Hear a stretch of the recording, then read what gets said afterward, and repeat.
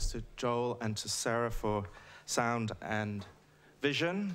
Um, do we maybe yeah. Can we have a bit less light, maybe here? Yeah, that's good.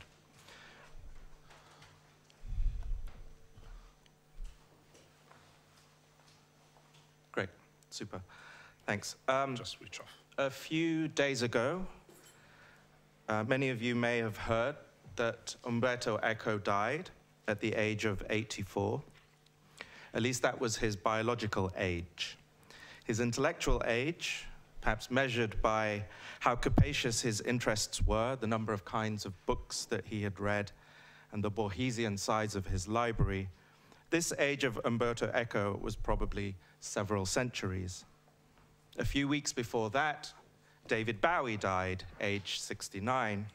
But his real age is probably measurable in light years, whatever units aliens use to measure time from whichever planet that he came from.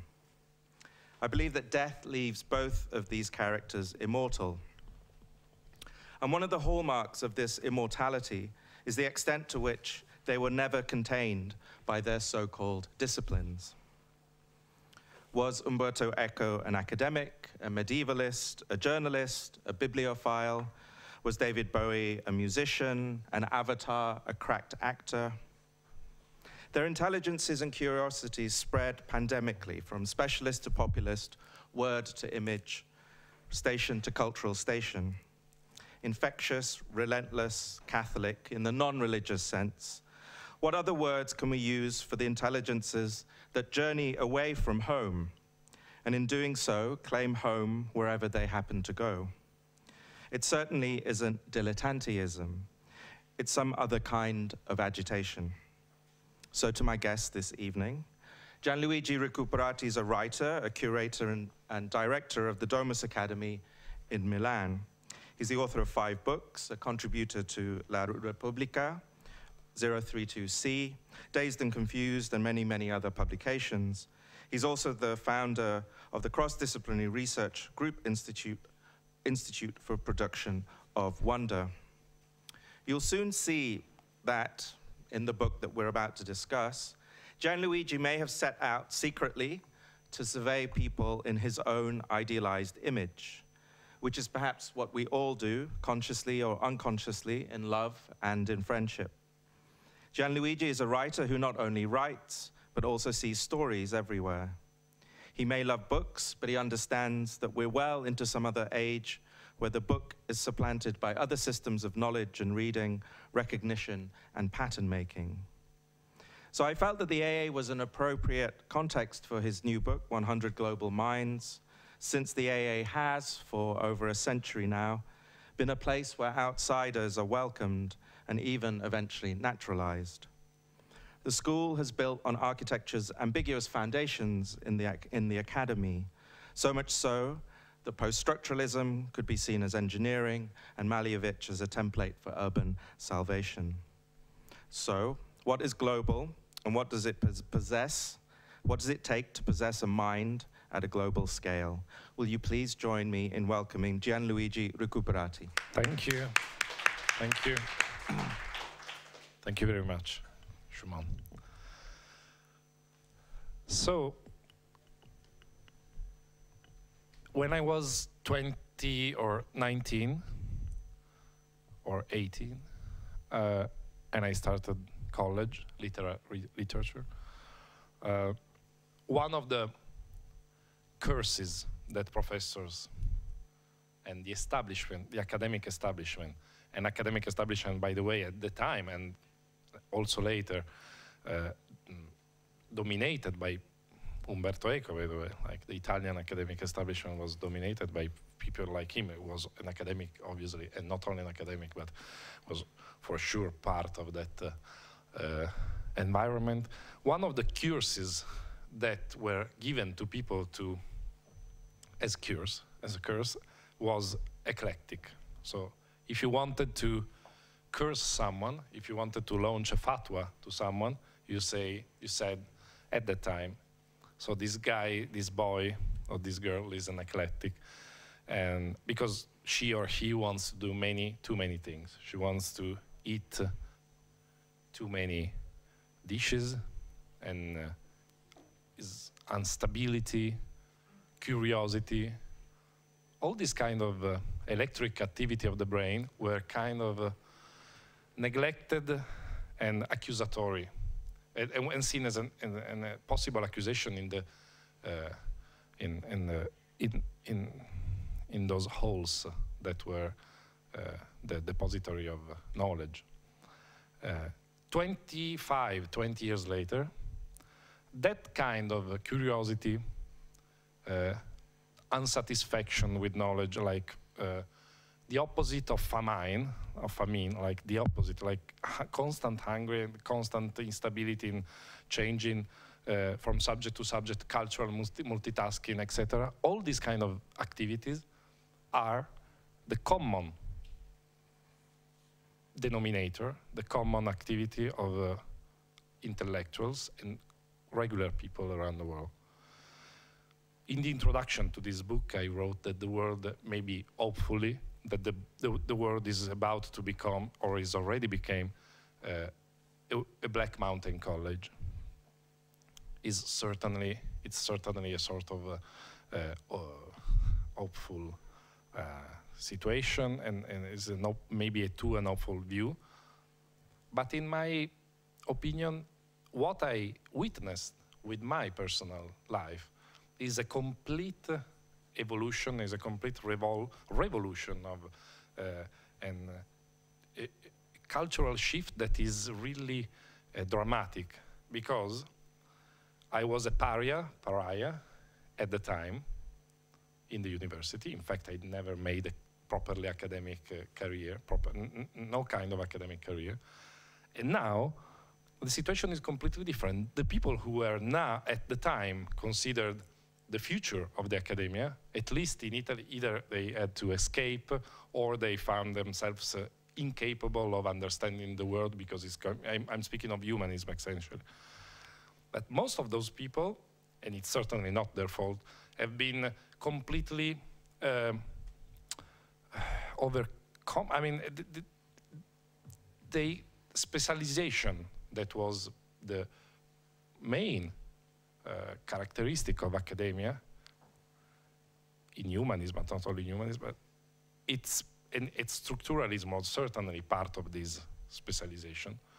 Uh, has became it's is really now a problem for many people like this because they cannot understand the world in which uh, each self is changeable in the length of three hours or four hours or five hours. We are in a and and that kind of hyper specialized humanist culture uh, is not space anymore on newspaper. Even newspaper are not like what they used to be. So the earthquakes, uh, like speaking of age of earthquakes that have characterized the last 10 years and the last 15 years, uh, mixed up with the digital revolution, which is a typical cross-disciplinary event because the digital world is made up of figures, numbers, and words. And the tragic or comic mix-up of these figures, numbers, and words is really something that is a shared platform for humanity, for understanding and expressing themselves. And this happens all the time. This is code, coding, uh, writing, and drawing, and sharing images. This is really the human, the plateau of, human, of, of humankind, like Harald Szeemann would say. This is really what's happening. The idea, basically, is that now the most adventurous intellectuals are those who can understand and address this change uh, by being constant learner and be the best learners. And what one of the best things that you could do when you live in at the borders of disciplines is that you uh, trade a little bit of power in your own discipline for a wonderful curiosity because uh, obviously you become less relevant because if you want to, if your obsession is being relevant, you have two ways. Even you go pop, either you go pop, you go on the popular and you are relevant by occupying space, or you are relevant by uh, invent, like uh, by being very specialized.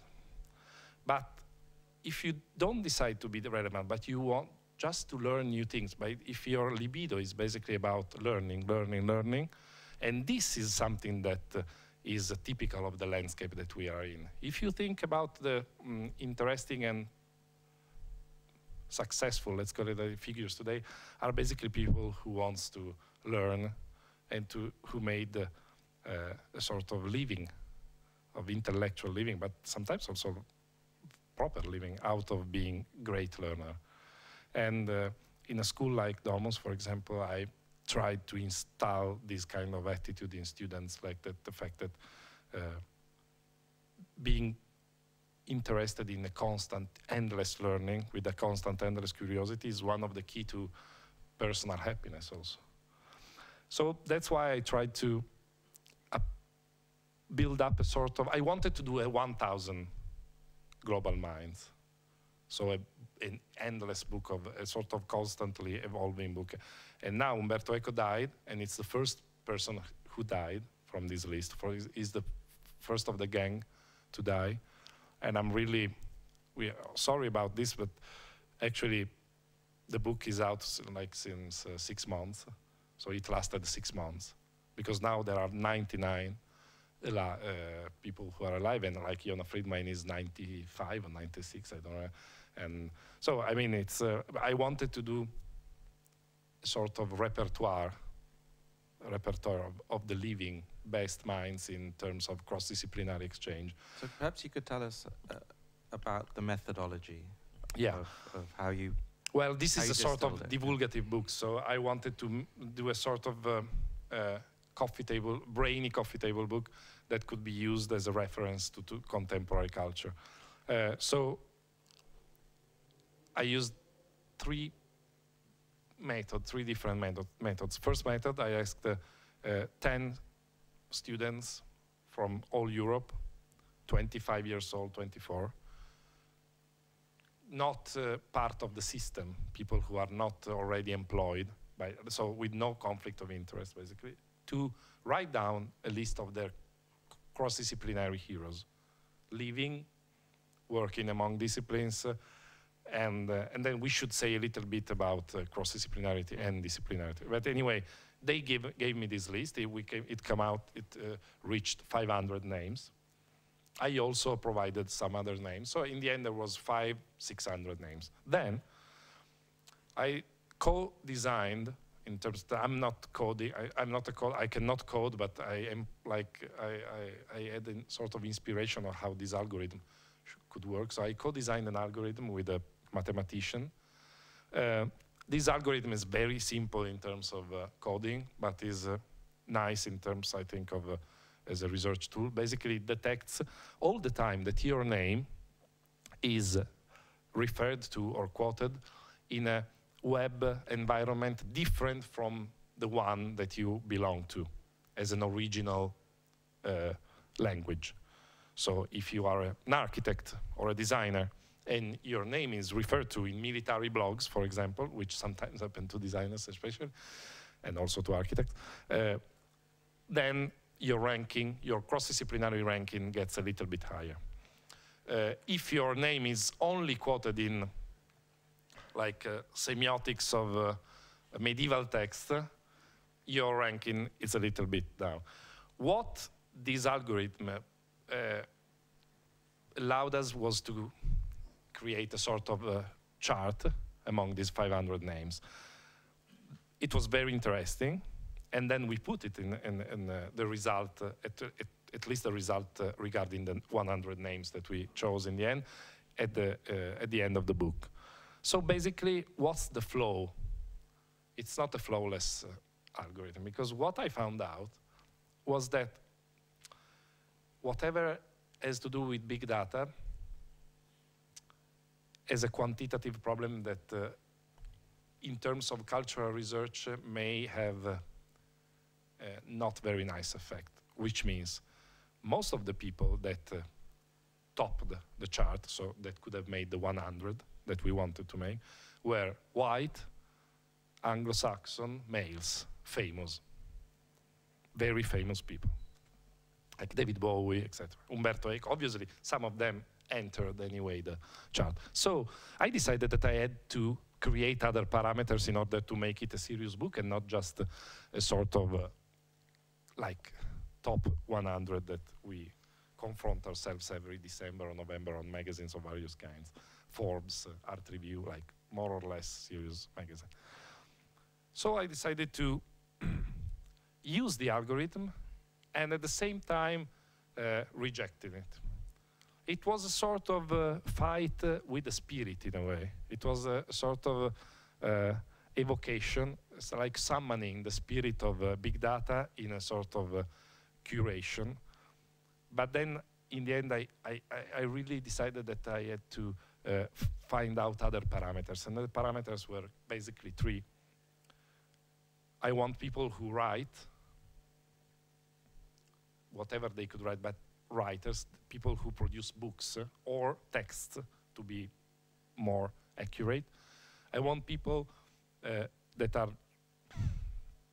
as uh, in, in terms of biodiversity, more generous than white Anglo-Saxon males of success.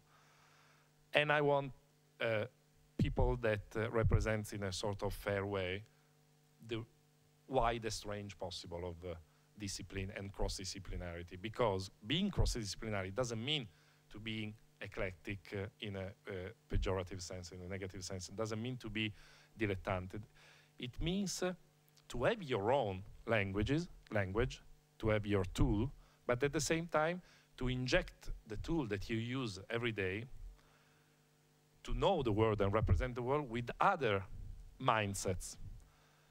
All this, this book is basically the continuation of a work that I did with uh, people, very interesting people like uh, uh, um, Ute Meta Bauer, who's part of the book, and other uh, intellectuals, mainly from the art world, Hans Ulrich, Obrist, and other people, uh, by asking them to participate a series of seminars three or four years ago in an Italian city called Torino uh, about the possible birth of a new institution. Then the institution was stopped because of financial mm, because of the financial crisis. But we did those seminars, and the institution should have been a sort of uh, institution devoted to the codes of cross-disciplinary of, of cross-disciplinarity. So an institution devoted to uh, a small institution, a small research international institution devoted to study and promote the those languages that act as bridges between other languages obviously not those languages are not proper languages, but are behaviors, are uh, actions sometimes, are a way of uh, living, attitudes. So it's a semiosphere that is slightly different than a proper language because we found out that it's pretty stupid to invent a new language uh, to connect two languages that exist. What you need is human being that translates between them using the best language of uh, in this kind of uh, situation. The best language is the literary language. So the theory that I developed, uh, and that is the sort of precondition of this book, is that basically narrative writers or writers in general, or literary people in a post-literary age, uh, like I think that we live in a post-literary age, can act as bridgers, uh, as uh, bridge the gap people between disciplines. And this could prove a very interesting works for humanists uh, uh, as well, in, in an era in which humanists can li literally are starving, are starving because the budget cuts in academia, all things that you know pretty well, I think.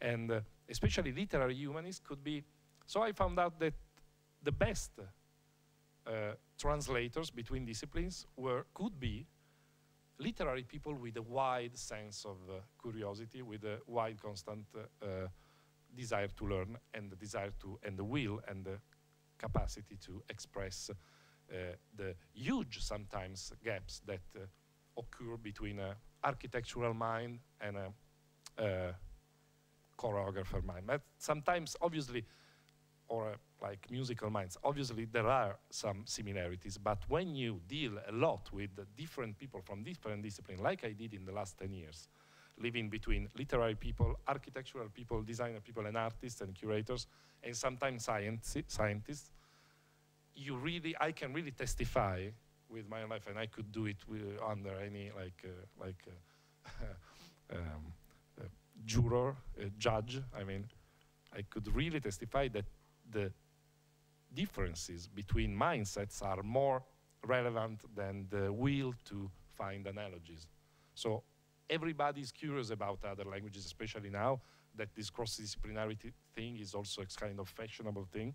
But in the end, when it comes to really work on the codes, on the transmigration codes, that is the moment in which things fall apart.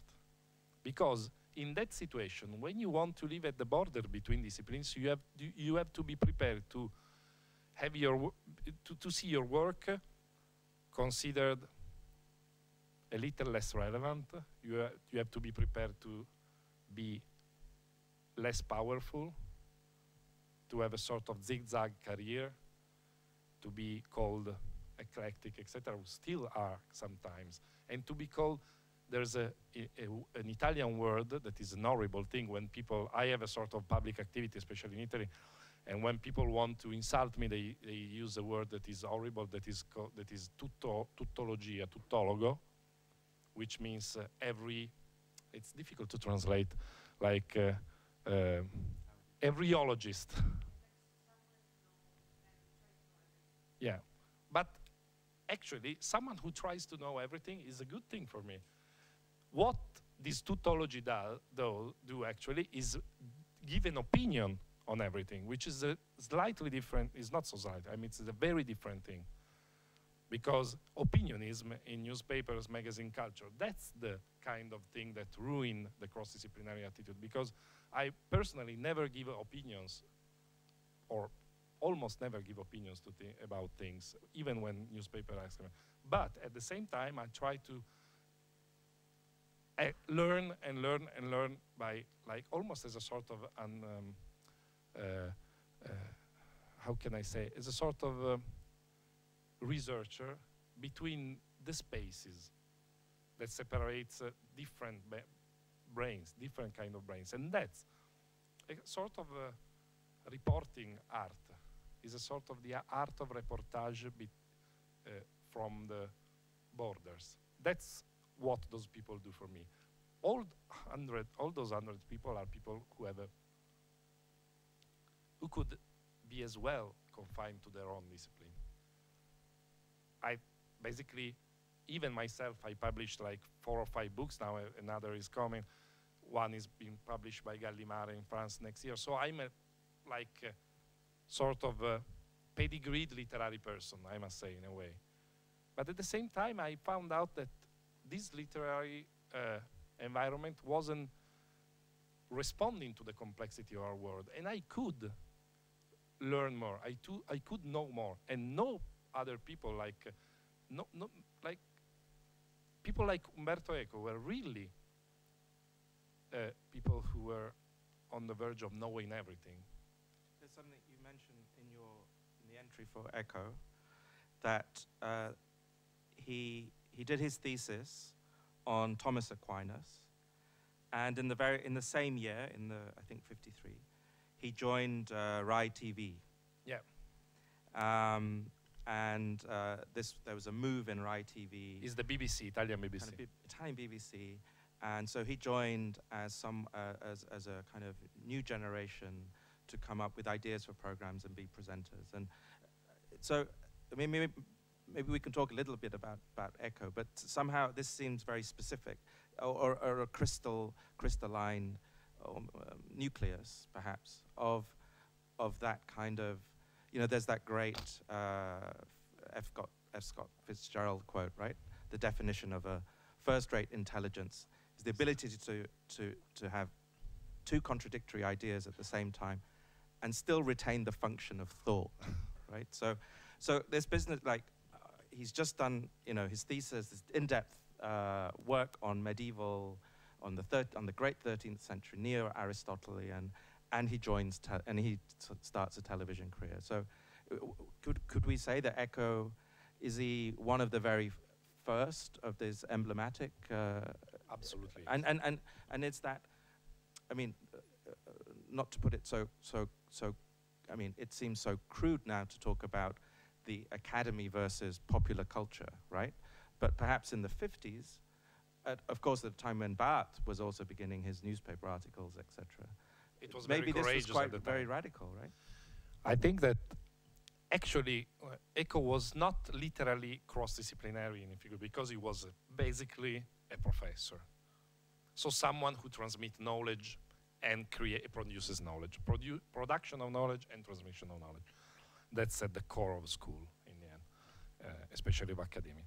So he never quitted academia, and he was always an academic, always, from the moment he, entered the faculty as a freshman to the to like the day he died. But he was certainly uh, cross-border, so he was a sort of, certainly uh, someone who crossed borders between discipline and put. Uh, uh, there's a beautiful way of putting it that he chose that is called uh, endless semiosis, which is which basically means an endless activity of semiotic uh, interpretation of everything, from uh, peanuts to uh, Joyce, from the Red Brigade's uh, uh, terrorist activity in the Italian Italy in the 70s to uh, pornography. That's the revolutionary attitude that Eco imported because nobody before him, nobody, is, at, at least at the, in this radical way, was so uh, constantly determined to investigate everything with a sort of uh, um, a radical will. There is a beautiful title of Susan Sontag, the first book of, by, of essays by Susan Sontag, who could as well be one of those figures, obviously, is uh, styles of radical will. And in this same fashion, she investigates uh, Bergman and uh, Norman Mailer, William Burroughs and um, John Cage, Merce Cunningham and uh, the Black Panthers. Obviously, there is a big tradition, especially in literary figures like Umberto Eco, Susan Sontag, and by the way, they were kind of contemporaries at the time, uh, of investigating everything through uh, a sort of literary no, attitude. But what uh, Eco did is the revolutionary attitude of uh, putting on the same level of semiosis things that were considered trivial at the time. Now we live in such a different era that we cannot even imagine how courageous was being a proper professor, like a proper academic, and the writer of a TV program. Even though we must say that at the time, uh, at the beginning of television, especially in Italy, now the situation after Berlusconi was a little bit different, but at the beginning, television was a mainly uh, linguistic tool in Italy because Italy was with their high rates of analphabe- an- analphabetism and since it was uh, a very young nation at the time, there were many dialects speaking, so people would have to learn Italian by watching TV. So that's why they employed literary figures on TV. And that's why it was also kind of, uh, I, I would say that uh, being a, a, a, programmer, a- an author, a TV author at the time, and an academic was less courageous and less paradigmatic than writing on this, in the same week about uh, Charles Schulz, Peanuts, and Joyce.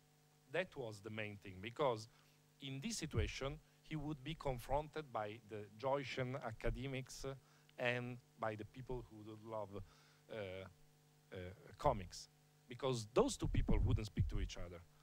And I must say that all cross-disciplinary efforts really led and lead, sorry, to the non-comprehension, to the fact that you, by wanting to bring people together of different areas, of different classes, of different uh, uh, intellectual uh, disciplines, you risk, uh, you, you have a big risk of uh, getting nobody. Because of you want, you want to make everybody at the same table, you risk that at your dinner, your invitation is like your party is crushed by everybody. So obviously it's a very risky. I, I'm not pretending that this. I mean, the book in itself is really a guide to to to interesting contemporary thinkers. That's why, and I think, and that's a sort of statement that the best contemporary thinkers, or let's say the best is difficult to say, but the most daring ones are those who address this cross-disciplinary effort in order to understand the world that is become. You know that the world isn't changed so dramatic. It's obviously changed, but it's not so much that the world has changed. It's our perception of the world has changed because we have access to so much information that is literally impossible to come out with a, a general theory. And that's why, in lacking a general theory, it's important to have a lot of knots, little knots. And I think that humanists could be the kings and queens of those knots, not the kings and queens, the, let's say the monks that, it's like medieval time, the monks that allow these knots to be enough tight to be uh, to stabilize the knowledge and the culture, but also enough uh, elastic to, to work. That's exactly what these people are doing. You know, one of the very uh, uh, popular things that uh, gets said today, there was actually a book that came out recently called The Shallows, which basically, you know, claims that uh, the internet obviously uh, allows us an almo- a seemingly infinite access to knowledge or information, and I think they're two different things, but maybe it's information that's parading as knowledge or vice versa.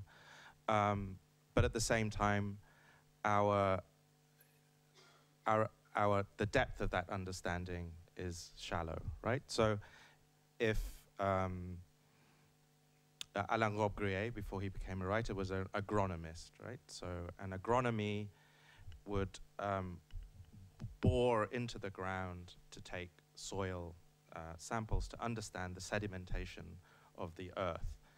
What's interesting about agronomy is that it's kind of it's very um, uh, in terms of uh, kind of X Y, it's very uh, precise. The the depth is literally how deep you go and, and, and an understanding of that depth. It seems now the opposite, right? So our the, the the area that we cover, our ability to move between a Kardashian and Kant is, you know, equally uh, agile, um, but anything more uh, about either of those characters uh, becomes sort of difficult, you know.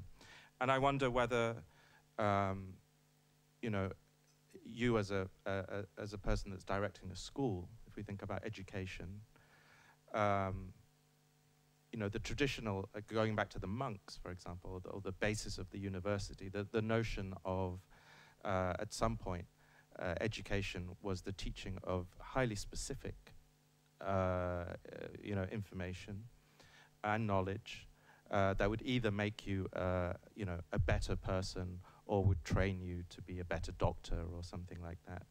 So how do you, how do we navigate?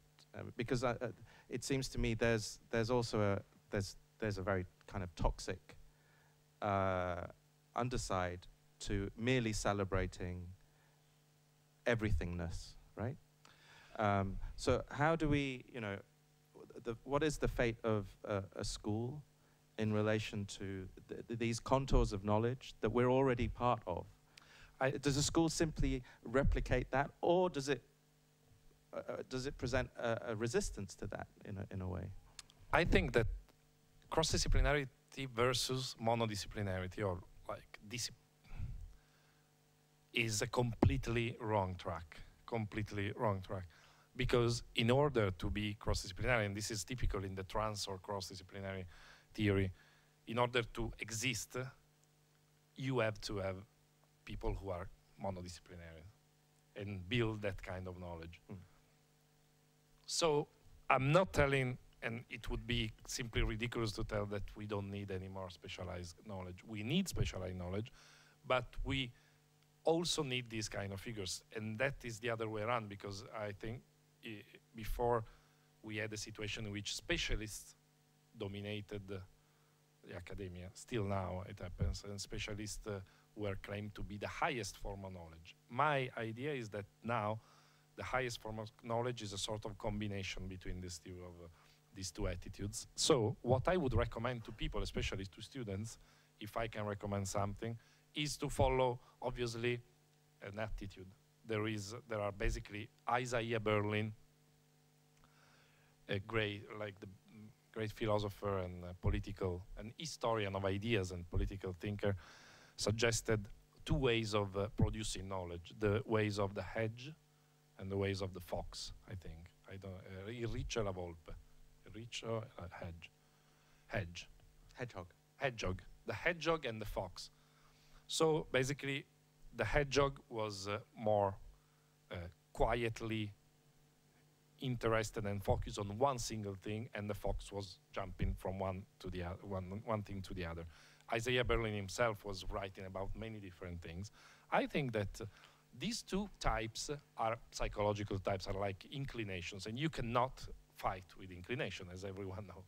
You cannot fight too much with inclination. So I would suggest that uh, uh, inclination towards specialism is still a very good thing, but even the most specialist specialist could, should be a little bit of uh, opened to other ways of thinking.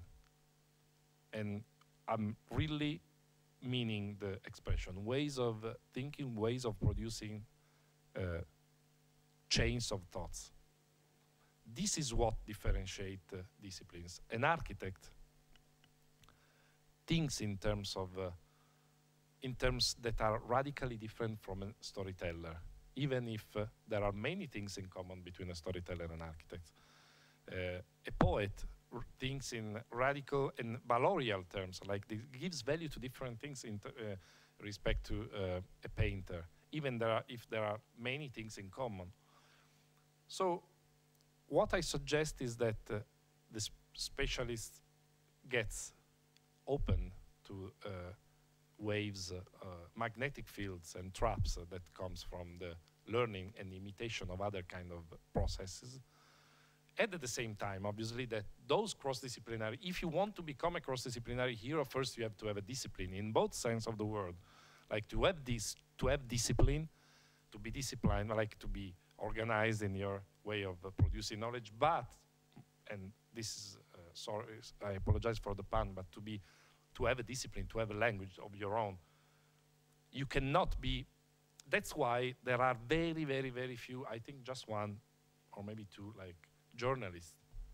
And I'm not speaking badly of journalists, even if I think that journalists as the 20th century profession is basically changing so, so, so radically that I don't think that the, the classic journalist will survive uh, in the next uh, 20 years uh, as, as we know it.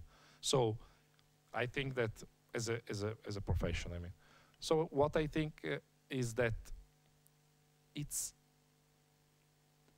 the cross-disciplinary hero is someone who owns a language, who can master a language, but at the same time is so interested in other languages, at least one or two other disciplines, that he tries to import in this production of knowledge some methods, some uh, methodologies that are owned by other uh, basically by other disciplines. And believe me that if you start importing these uh, methods, different methods, you really enter a realm of no man's land in which uh, it's very difficult to navigate because it's very disquieting.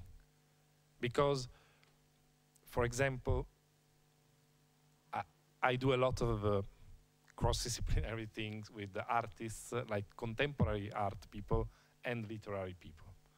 Because many literary people are navigating into the contemporary art uh, system basically because of because of the because of the money because there are there are more possibility to make a, lit, a, a living possibilities that are not anymore provided by the publishing system basically so and then the, I, I have my personal theory that the contemporary art system one, has many flaws, but one of its best uh, uh, characteristic is that it's one of the few social elevators in uh, in a world that is highly polarized. Uh, obviously, on the at the same time, the, the contemporary art system is a brutal representation of the wills and the power of the one percent or the zero one percent or the one percent. But at the same time, is it's one of the few ways in which a representative of the 99% can have a ser- serious talk uh, with a representative of the 0.1%, and that is always a, a good thing, especially in a world that, in which uh, there is no anymore uh, possibility of like shared common ground between class be- between these two uh, two big um, uh, class uh, big classes. Uh, what I sh- should add in this situation is that contemporary art people and literary people have really one big different difference in terms of uh, of production of knowledge, and it's a it's a value system difference. So they give value to different things. I tell you I tell you an example. Literary people, whether you like it or not, have uh, still now, after all the avant-gardes, after Robbe-Grillet, after we have, I must say, as a literary person, have the myth of intelligibility, of, I wouldn't say clarity, but uh, there's a word used by Thomas, St. Thomas uh, Aquinas, which is claritas, which is also used by Joyce. So being intellectually understandable, I don't know how to explain better than this, but the idea that uh, the language is a semantic force uh, that uh, is there for all to interpret, and everybody can interpret. And there are obviously many different aesthetic interpretation, but the text is the text. So it's a sort of uh, uh, possibility to speak in a transparent way. This leads to, for example, a series of consequences. Many literary people now think that uh, being narrative is a good, is a, they, they are very interested in anyway tell a story. Uh, something that most avant-gardists of the 60s were like Robbe-Grillet, but there were avant-gardes uh, in literature everywhere. They declare, after Roland Barthes, the novel was de- declared dead in a way. And so many people in the literary realm decided that it was better off to start creating texts that were highly unreadable in a way because the world was unreadable and you know uh, i'm simplifying but that's that was basically the contemporary art people curators young artists um, uh, uh, basically uh, pass people who pass by in, in galleries they value exoterism. I'm always generalizing but for the sake of claritas uh, they like uh, the they don't like uh, over narrativizing they don't like very clear storytelling they don't like to uh, they like an exoteric kind of uh, very very not specific but they want some always a little bit of twist in terms of uh, uh, production of uh, meaning. They don't want it, and they don't want to be they generally have suspicion about the possibility of being translated in a way. To put these two kind of people around the table to work on a project is a very difficult task because they give value to different things. They give different value to different things. So uh, the contemporary art people usually would uh, not love a writer like jonathan franzen who is a very complex novelist, is a very gifted novelist, probably the, the most gifted novelist of our time, but at the same time as a form of clarity in his uh, kind of uh, architectural narrative. Uh, is a, a narrative architecture, so he wants to be um, understand, he wants to be read. At the same time, the art people uh, are kind of uh, in love with a sort of complexity, complex, hyper complexity, and uh, like to find a way to balance these two attitudes is very difficult. It's really because you have to sacrifice some of your chess pieces. And this is like to respond to your Mhm. question. And you, you sort of, you just mentioned that journalism may be one of the uh, many things that we uh, either are seeing in a process of decline or imminent, uh, you know, imminent uh, ex- extinction. Uh, but this this category uh, of a global mind itself Yeah. is that uh, how much of that is a 20th century fixation uh, and how much is uh, or is it uh, or is it a 21st or 22nd century? Because um, let's let's say uh, I think everyone in the book uh, could be said to have been formed at the in the 20th century, and uh, there isn't obviously a, a project like 89 Plus that Hans Ulrich has been doing, Simon Castets, which is an attempt to survey uh, the generation born after 1989 in a way, the digital native and so on and so forth. One could say is a different kind of global mind, Yeah. right?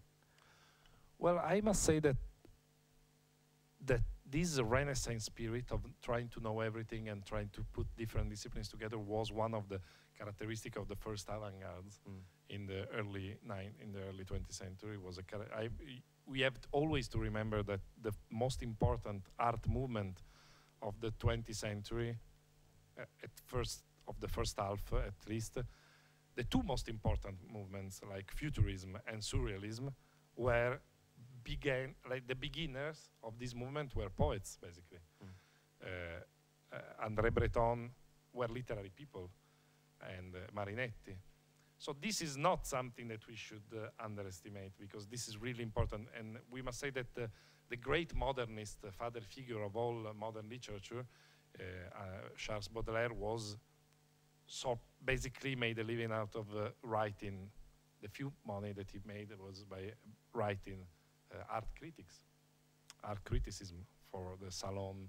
Uh, and I think he was one of the few that understood immediately the importance of Impressionism, for example. So I think that it's been a part of modernism heritage, of early modernism heritage, the convergence of those disciplines, of, of different disciplines.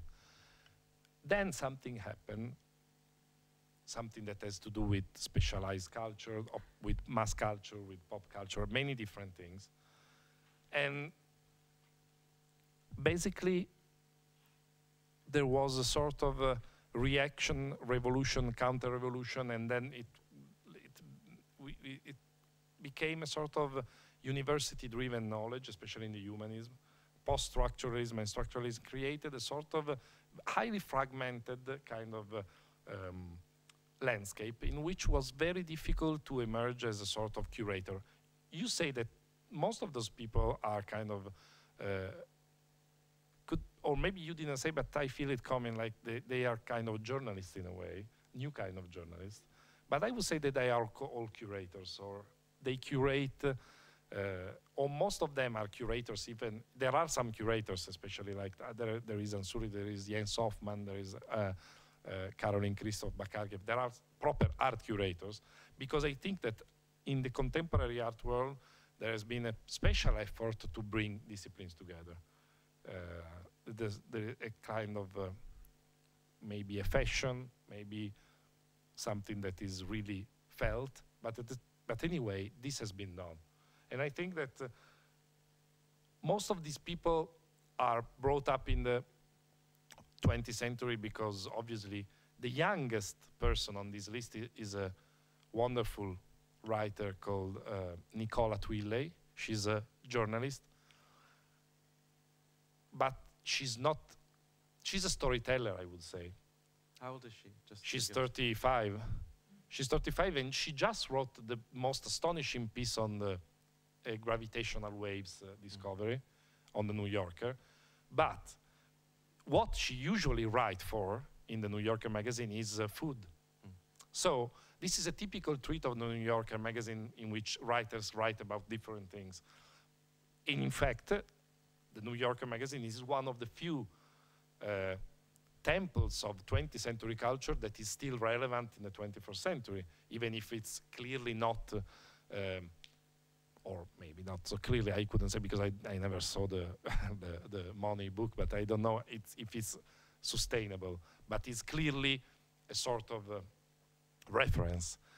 And the fact, and I, I never thought about it, but now I'm thinking that the fact that in in, that, in that magazine, all writers are forced to write about different things. Something that, or I must say this, that in the 20th century, the culture of specialization was brought in by media and journalism because media and journalism were kind of a psychoanalytic representation of how we perceive ourselves. And the fact that in media and journalism there was a high rate of specialization, the chronicle write, the, the um, uh, mm, crime writer just write about crimes, usually the political writer, the Vaticanist just write about the Pope, this created a sort of, uh, uh, and then there are the opinionists. So this created the fact that those who are speaking about different things, they just give opinions, but that's the right, the, the wrong thing to do. I think that those who are more interested in things are, the more you get interested in other disciplines, the less you can give an opinion. It's exactly the opposite. And it's by giving less opinion that you become less power, less powerful, because people give power to people who give a lot of opinions. That's what politics, democratic elections are about. Who are, what are elect elections if not races between two people, two highly opinionated people? But I think that all these people, and especially fathers figures or big brothers figures like uh, Hans Ulrich Obrist are exactly the opposite. So are kind of inclusive. Obviously, they are highly opinionated in their own terms, but they are becoming like media themselves. They are a medium. All these people are not even curators, they are museums. So they are including information, things, their body. Most of these people are body artists in a way, because their favorite medium, the favorite media is the poetics of relation, which is that particularly aesthetic effort that brings intelligence together. Like someone like John Brockman, who was one of the minds, he started this beautiful club that is called edge.org. And edge.org is not only the only newsletter that you really, as, apart from the AA newsletter, that you really want to receive every week, because it's so full of interesting things, but it's a club of scientists that welcome humanists. And the relationship between scientists and humanists and technologists and humanists will be the most political most important political things in the next future because if humanists don't talk to scientists and technologists, clearly artificial intelligence will be uh, mm, making the world a very different thing in, a, in 10, 20, 10 to 20 years. So what I must say that training people to become natural born translator, not artificial born translator, like between disciplines, especially scientific disciplines and humanistic discipline, especially and then politics, like in a way. This is the most political urgent thing to do for humanists because people will be like just to tell you something, there is a high there is a sense of uh, exoterism in the technological progress now that is almost reaching the kind of exoterism that uh, marked the financial uh, the financial language. So you basically don't understand every every time the financial people want to invent a new way of cheating, they invent new new names. New there's a Roland Barthes created a beautiful new word for people who invent word, which is logothet, which is a word from Greek, logos and logoteta, which is inventing new words and it's uh, inventing new discourse. So the financial people are inventing constantly new words and new discourse for things that are more and more complex, more and more phantasmatic, more and more relevant. And I think that in a way, to have people who are not only divulgating, not only divulgators, but are interpreters and curators, because there is so much information that you really need, and the only one that can do this is are people who have already a sort of uh, humanistic and holistic take on, on knowledge. And literally people are kind of uh, interesting, but also architectural people and all the people that uh, deal with everyday life. What is a novelist about? And that's one of the most important similarities between an architect and a novelist. Can you tell us, what- uh, just as we Yeah, yeah. I'm we, sorry. We, I'm- we sort of near the end, but I just, for those people who haven't necessarily seen the book or gone through it, I wonder if you could just speak uh, in terms of specifics. So, who are the architects you've put in here, and who, who are the who are the novelists you've Yeah. put in here, for example? So basically, architects, obviously there is Rem Koolhaas because is a perfect example of a writer, journalist, uh, lent to architecture, then lent to like global philosophy, uh, urban thinker or something like this. Um, there is Yona Friedman in terms of architecture and design because obviously he was anticipating most of this uh, convergency. Um, there is uh, uh, people like Thomas Piketty, who's an economist who brought in an, in in the economy study a lot of sociology and a lot of uh, literature. For example, one of the things that he does in the book about capital in the 21st century is uh, using Balzac as an example to see the different, the social difference. There is um, Ute Meta Bauer, who's a curator, but in the end uh, she directed MIT, uh, uh, one of the departments of MIT, then directed the Royal, uh, the Royal College. Then now is in, she's in Singapore, then, but she also did Documenta, so I mean, one of those. This is Colas. Then um, there is uh, Joan Didion, because she she's one of those uh, few writers that were really capable of uh, writing about very very different topics uh, from politics to California, from Hawaii to uh, Cuba, with an in- impressive way of knowledge of uh, producing knowledge in them. like. Uh, But wasn't that the function of a journalist? So Yeah. where does the journalist stop, and the cross-disciplinary writer begin? that's the that's the most important question in this situation. It stopped when journalism became a, a specializing, a, a machine to produce specialism, Mhm. and at the same time, when because there are so few literary writers who can write about everything without being op- just giving opinion Mm. on things. Like for example, why there's no Tom Wolfe? Tom Wolfe is in do, out of doubt a very important uh, um, non-fiction writer, but is not exactly a reporter. Is a sort of judgmental, ironic sat- satirist. And I don't think that satire is what we need to understand the world in. This is a completely different thing. Obviously, there is a certain degree when you spoke about the method, that which is what we did after we gave up the algorithm. Basically, I decided out of those selected by the students, then selected by the algorithm, I decided who's in, who's out, based on a vision of what should be cross-disciplinarity. Obviously, I considered many factors, uh, but at a certain moment, I wanted a biodiversity of uh, careers. That's why we have like uh, Carolyn Christov. There is uh, uh, Gilles Clément, for example, among architects. Even if I think that now his research has kind of became flat now, but in the past 10 or 20 years, he represented a sort of uh, halfway through between a sort of description, naturalist, uh, bit, uh, gardener, and, a, and an architect and an urbanist. So then there is uh, um, Carsten Höller. There are a few artists. I try to put in uh, and to favor those artists who can write, who can like elaborate a complex way of thinking.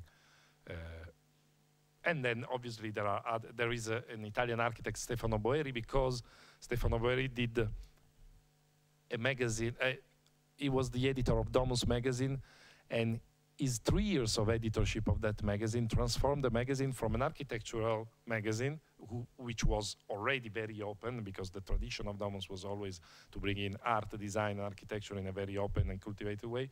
But basically, during Stefano's editorship, you really couldn't tell what what was that object. It was a completely UFO. It was un- completely unidentifiable, and that's what is the interesting thing. When something becomes so unidentifiable that uh, it exceeds the limits of marketing. So it cannot be marketed anymore. That's why cross-disciplinarity don't sell, doesn't sell, in a way. In other way, is very fashionable. But the real, because an attitude of being constantly curious, matching a sort of flat curiosity with, with a sheer and clear respect of monodisciplinarity, so matching horizontal research and vertical research, because that's what uh, that magazine was doing. An intuition driven by a restless curiosity that met always with the research made by a loner researcher in the University of Texas and who could provide the specialist part. But the thing that was that the holistic vision that dominated the magazine was a vision in which culture was only the result of a dialogue between different disciplines. That's what I, and then there are other architects. Uh, now, there is Joseph Grima, for example. Yeah, he's a teacher here. There's Brian Eno, many other people. And uh, actually, my, one of my last questions is uh, one area where actually the, the notion of um, cross-disciplinarity or poly polydisciplinarity has become extremely popular is that of TED Talks, right? So they love to boast over a billion TED Talks have been watched or, you know, at least uh, uh, uh, looked up uh, and that what people are doing in their lunch times uh, instead of, you know, going out uh, to have a fag or something is sit there and, and take in two TED Talks, you know? so is, I, I wonder what your, your opinion is about something like TED uh, in relation to uh, your notion of either cross or polydisciplinarity and whether uh, you see any uh, commonality there or you think there's something very, very different happening? Uh, I think that TED is still, especially the proper TED conference, is uh, still very interesting. And I'm not trying to be politically correct, but I, I think Have that they ever invited you? no, no. They, they invited me to some minor TED events, but actually, the omnicomprehensivity of TED is that they could invite uh, people to talk about uh, the, a different version of polydisciplinarity or cross-disciplinarity that is actually um, fighting with their own vision because they basically it's a sort of absorbing force now. Uh, I think that TED, in the end, whether you like it or not, has one big flaw, in my opinion, that is still too much uh, anchored to a television. It's, it's clearly a product of someone that who was brought up with TV. It's still a TV format in the end. While, obviously, it's interesting. The people who spoke this year was, uh, were like in Vancouver were phenomenal, and it would be stupid to dismiss a format like this in a in a. What I think in the end is that what is missing from the that kind of format is the bizarre, the improvisation is very, very uh, market oriented in a way. Basically, now TED is becoming a success story mm. over success stories, over success stories.